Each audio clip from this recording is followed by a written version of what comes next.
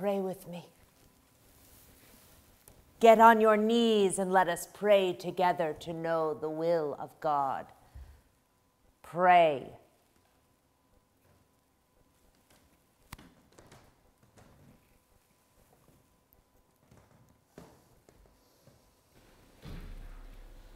Ave Maria, gratia plena, Dominus tecum.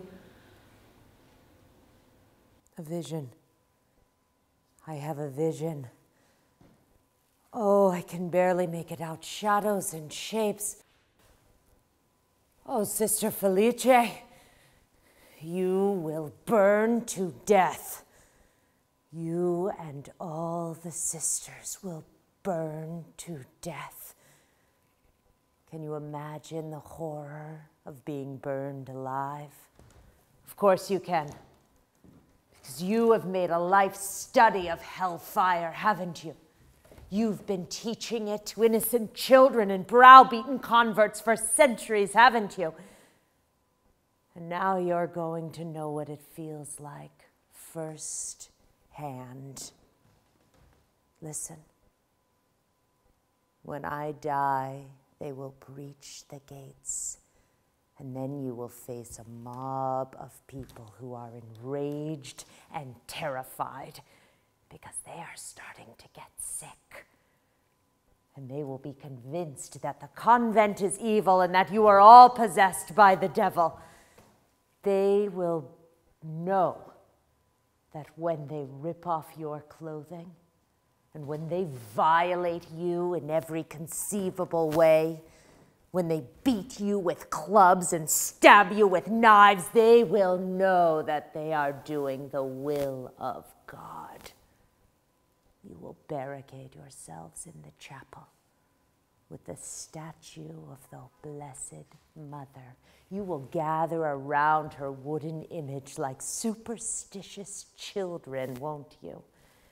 As you hear them nailing the windows shut, as they pile up logs around the door and throw burning sticks on the roof. And you will pray, Sister Felice you will pray and you will encourage your little flock of frightened sheep to pray with you. You will pray for your wretched souls because it will be too late for your bodies. Already, you will feel the heat. It'll feel like an oven, an oven for baking sinners. You will choke on the smoke that is creeping in under the doors and around the eaves, filling the chancel like an antechamber of hell. Someone's hair will burst into flames, and then her clothing, and you will tear your clothes off, and your skin will blister and blacken, and in your last agonies of tortured flesh, you will turn to the Holy Mother of God, and she will be going up in flames to meet you, to meet you in hell. so there is nothing we can do.